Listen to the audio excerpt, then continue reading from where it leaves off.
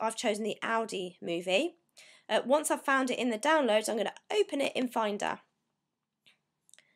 And at that point, I'm going to drag and drop it into my own area. Your area to drag and drop it into will be your P area. If you if you miss out this step, every time you open your GarageBand video, it won't have the movie in it. So you need to drag the movie into your own area. My own area doesn't show because I'm working from home during the Christmas holiday, I'd like to add. Haha.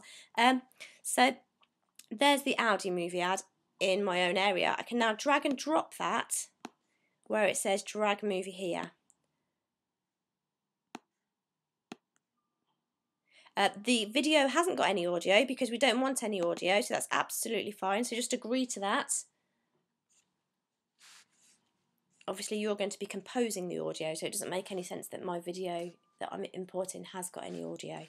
So now we've got a video playing. Can't hear anything, but we can see it. And if we want to see it larger, we can double click on this icon here. You can make it bigger so you can get an idea of what you're doing. And across the top here, you can see the timeline in seconds. So there's the video.